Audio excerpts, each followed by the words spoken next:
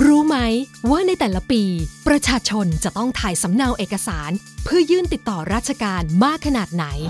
และหน่วยงานราชการต้องใช้งบประมาณในการดูแลเอกสารเหล่านั้น ปีละเท่าไหร่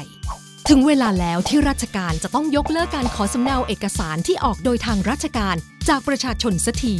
และให้ประชาชนมีส่วนร่วมในการแสดงความเห็น หรือบอกความพึงพอใจ เมื่อใช้บริการของภาครัฐได้ โครงการยกเลิกสำเนาเอกสารราชการ และประเมินความพึงพอใจของประชาชน ต่อการให้บริการของหน่วยงานภาครัฐ โดยความร่วมมือของสำนักงานพัฒนารัฐบาลดิจิทัล องค์การมหาชนสำนักงานกพรกรมการปกครองกระทรวงมหาดไทย และส่วนราชการทั่วประเทศ จะช่วยให้การติดต่อราชการ ง่าย สะดวก และประหยัดทั้งเวลาและค่าใช้จ่ายมากขึ้น โดยเริ่มจากให้หน่วยงานภาครัฐ ปักหมุดตำแหน่งพิกัดจุดให้บริการทั่วประเทศ ด้วยแอปพลิเคชันลองดูแมปและขยายผลการปักหมุด ไปยังสถานที่ราชการ สถานประกอบการ และสถานที่อื่น ๆ ต่อไป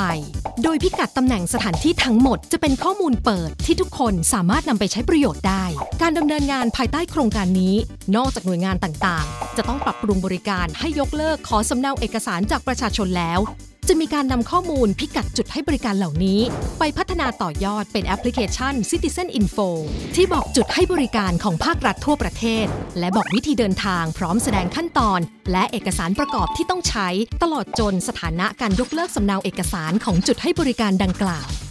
ในระยะแรกจะเริ่มจากการยกเลิกสำเนาบัตรประชาชน และสำเนาทะเบียนบ้านก่อน และจะขยายผลให้ยกเลิกสำเนาหนังสือรับรองการจดทะเบียนนิติบุคคล และสำเนาเอกสารอื่น ๆ ต่อไป พร้อมเปิดโอกาส ให้ประชาชนมีส่วนร่วม ในการปรับปรุงบริการของราชการได้ โดยบอกความพึงพอใจเมื่อท่านใช้บริการของภาครัฐ ผ่านแอปพลิเคชัน Citizen Info ทุกความเห็นของประชาชนจะนำไปเป็นข้อมูล ปรับปรุงคุณภาพการให้บริการของราชการต่อไป Citizen Info สำเนาไม่ใช้ รู้ใจประชาชน มิติใหม่ติดต่อราชการ